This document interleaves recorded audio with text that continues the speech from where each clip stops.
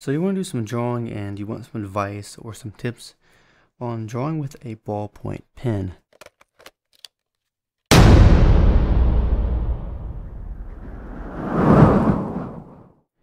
Now, the ballpoint pen is great for anybody from a beginner to a professional. What I like about the ballpoint pen is that it's very cheap. You can buy these in you know packs of 12, 24, 36, or even 100 or so. Um, you can buy them in bulk online. Now, with a ballpoint pen, there's something you can do that you can't do with a lot of other pens. And that being that you can't get that sketchy look like you can get with um, other pens such as um, like a fine liner or a um, some fountain pens. Although if you wanted to get that real sketchy look, you could just draw really fast and have a pen that has a um, non-flexible nib or use a quill pen. But um, with the ballpoint pen, um, if you hold it at an angle, as with a lot of pens, you can get lines that are lighter or darker, um, thicker or thinner. And with the ballpoint pen, when you're holding the pen, the more angle you have the pen, the lighter the line is going to be.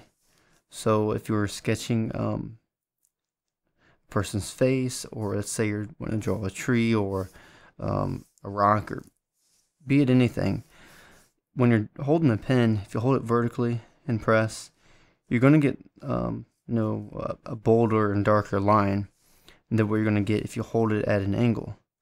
And that is because less of the pen is coming into contact with the paper. So when you're drawing with this, keep in mind the angle that you're holding the pen and also remember the pressure that you're putting on the paper. So the more pressure you have on the paper, the darker the line is going to be.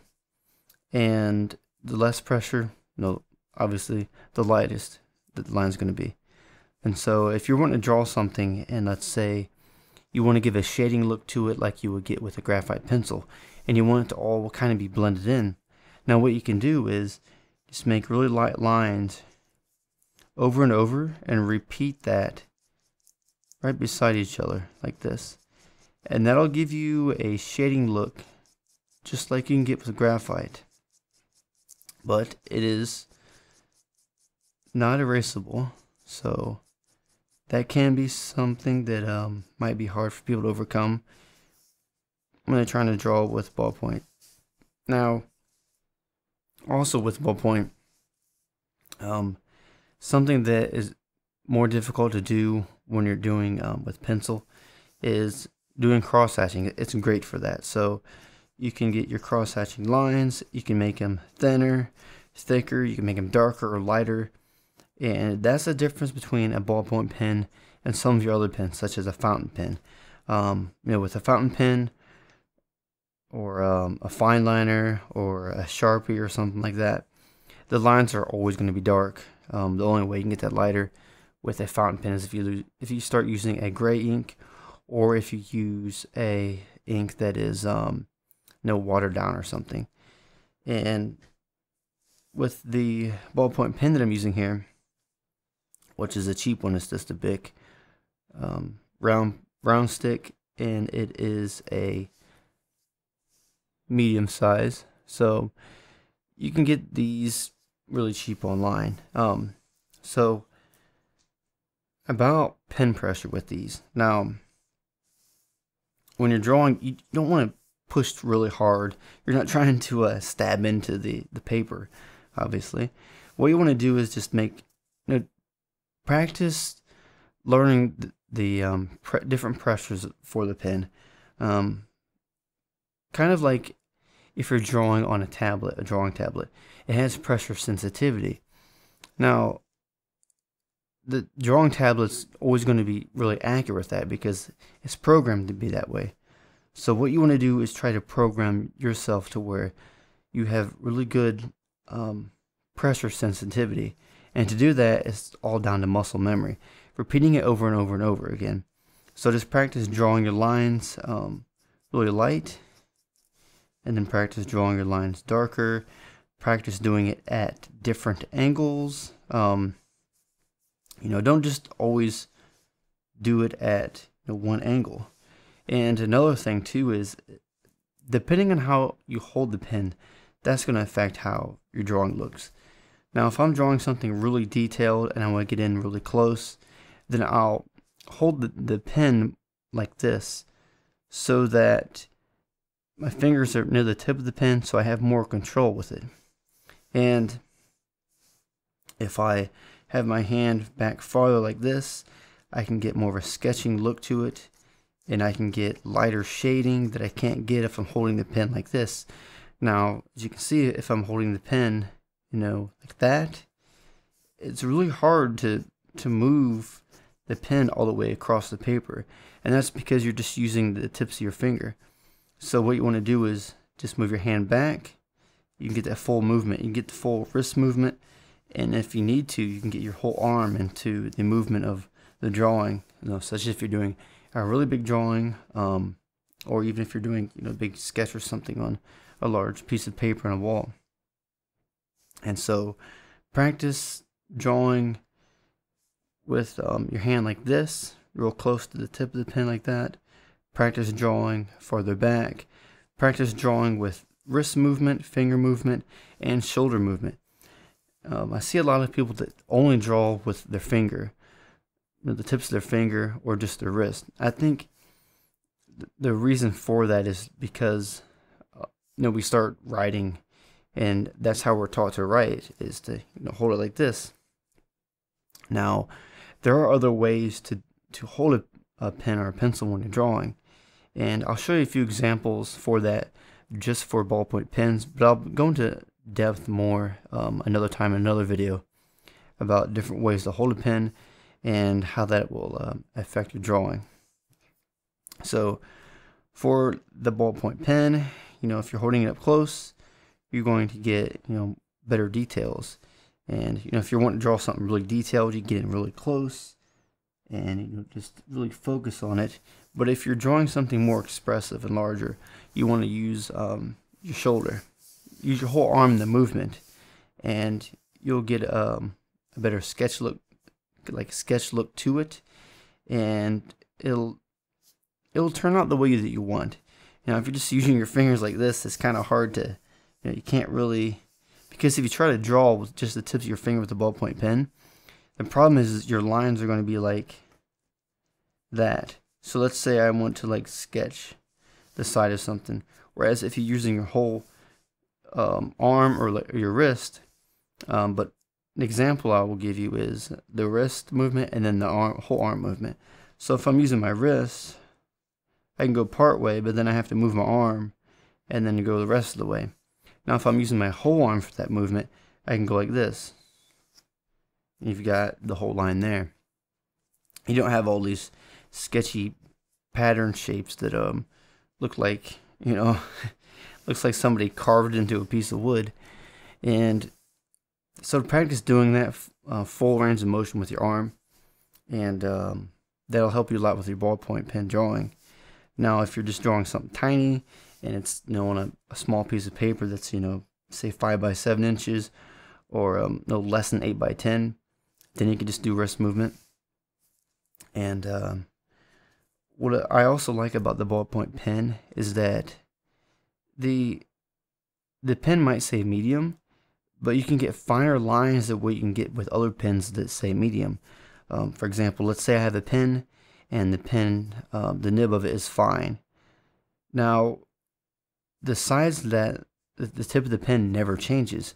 Like, for example, with microns, um, which are different than ballpoint pens because a ballpoint pen has a small ball at the end of it and it rotates and moves. And the ink goes from that little ball at the end of the pen onto the paper.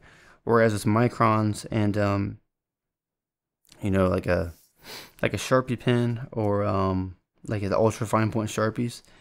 The nib of that, you know, the ink is always the same amount, whereas this you can vary it with the angle. And um, now, and with these is that the ink isn't archival as much as um, other pens such as microns or um, non-fading archival ink that you can get in um, other pens, but they're great for people that want to start sketching and um, anybody that wants to improve, or even if you're a professional and you want a pen that you can um, you know sketch with, but let's say you're low on money or you don't have um, your name brand or expensive or professional pen with you, you can just grab one of these because you can pretty much find them anywhere. It doesn't have to be this brand specifically. It's just the one that I use because I can get them in no big case of them for really cheap. And um, so this is just the ones that I happen to use right now. And uh, I've I've used other ballpoint pens, and the ones that are like um, I've tried Papermate and um, some other brands as well. They work pretty good. But what I like about the ballpoint is that it's just more reliable. And I don't really have as many issues with it as I do with some of the other pens. Um, although one thing I do like about the Papermate ballpoint pens is that they have like a tripod grip. So if you're a beginner and you want to learn, you know, the proper way to hold a pen, that'll help teach you how to do that, such as um, some examples I've talked about in other videos with a fountain pen. But anyways, back to the ballpoint pen. Um, these come in different colors. The one I have here is you know, the BIC Round Stic medium. They come in um, fine, medium, and bold. So you've got you know, different sizes that you can use, and the the fine tipped ones are really really fine tipped. They're like they're really small microns, yet these are really cheap. And the bold ones they're really bold, you know, like the larger sizes of um uh, micron pens that you can get. And you know the line width you get with this medium, um, it's pretty standard, and you can get very thin lines just by moving the pen really fast. And so that's something you do can do with any type of pen. Um, well, almost any kind of pen. Um, there's a lot of variation, but generally speaking, you can do that with most pens. And but with the ballpoint pen, you can also, you know, not only do you get the thin line, but you can get the line that is lighter. So when you're drawing, you can get more variation. You can get um, different tonal values and everything. So instead of having to do so much cross hatching and relying on, you know, drawing things like this, and then having to go back over it again, and then say you don't want to darken this area, and then having to cross hatch over that.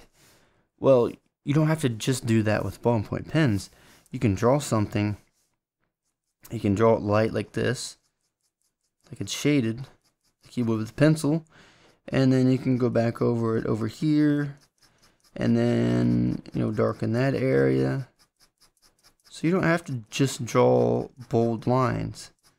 And um, another thing I will mention is that the paper you're using for ballpoint pens, if you're using a very smooth paper, you're going to get a line that doesn't have as much you know variation in the line itself.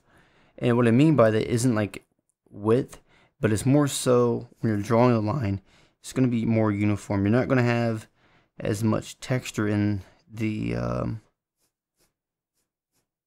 line as you would with a more rougher paper.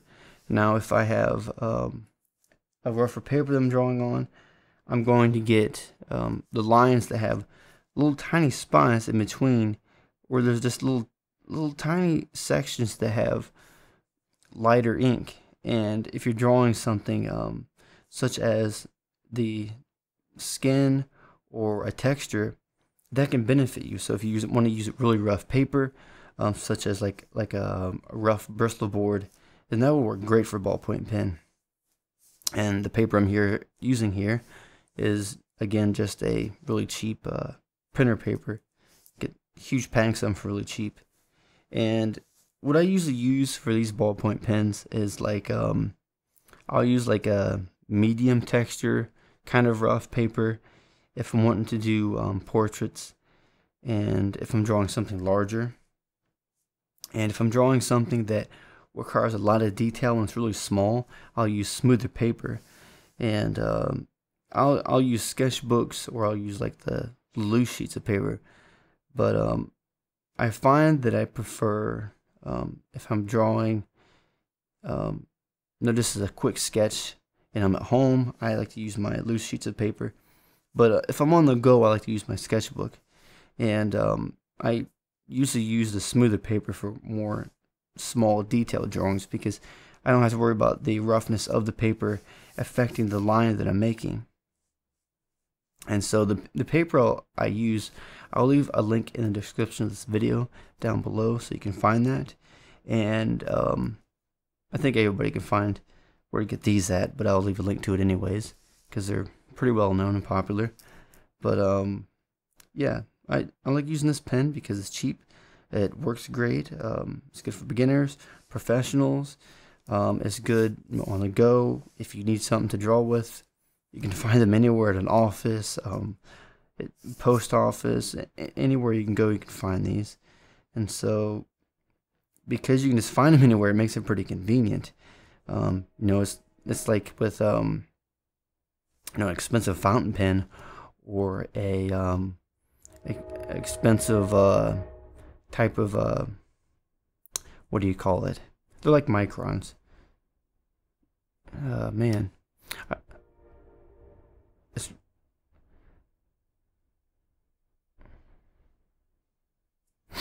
okay. Now this part I'm going to cut in the video, and then go over to the next part. Okay. And I'm going to start talking again in three, two, one. Now, with the pens that are you know, really expensive, like the fountain pens and all that, you're not going to just find those laying around. So, this is going to be beneficial to you. And um, so, back to some other examples for drawing with a ballpoint pen. Um, you know, I talked about cross hatching. I talked about line variation. I talked about how to get um, lines that are smoother, lines that are rougher, and what paper, you know, the different papers, and um, uh, no cross hatching and uh, kind of shading like you would with a pencil. Now, I feel like I've covered most of everything for this, and if there's anything that uh, I haven't covered that you'd like me to talk about in another future video, go ahead and let me know in the comments down below. But um, for now, I think this will do. And yeah, if you have any questions, go ahead and let me know. But I'm going to go ahead and go work on some drawing with a ballpoint pen. And I'll be uploading that video later on this coming week or two. And uh, if you have any questions or suggestions, go ahead and let me know. And you all have a wonderful day. See ya.